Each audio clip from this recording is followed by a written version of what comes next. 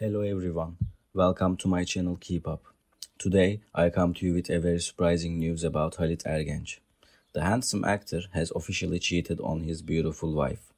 This news really made us sad. All the details are in this video.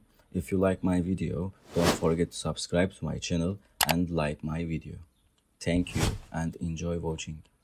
Learning that Halit Ergenç was married to a famous actress who played in many important TV series such as 80s and Arka Sokaklar for a while, the internet magazine World began to investigate why the couple broke up.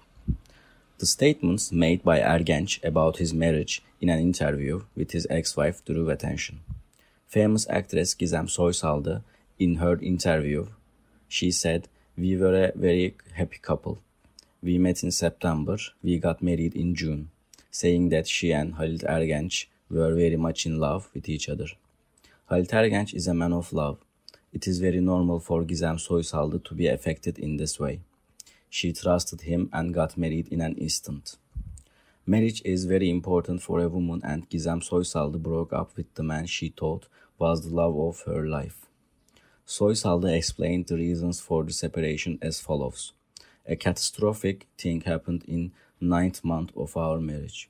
Halit lost his father, then unhappiness, death, depression, and lastly the suicide of his nephew. Mary's suicide destroyed Halit. But what kind of depression? I'm trying to support the man I love, but the days are so hard that I can't describe. Even at these events, we are very much in love with each other. Halit hits the boards every day and says, don't let the evil touch you. But gradually he began to be unable to carry all of them.